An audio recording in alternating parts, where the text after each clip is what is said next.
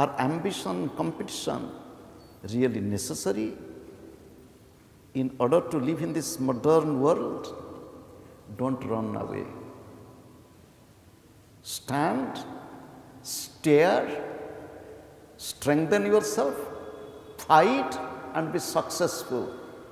There is nothing wrong in competition. Competition brings excellence.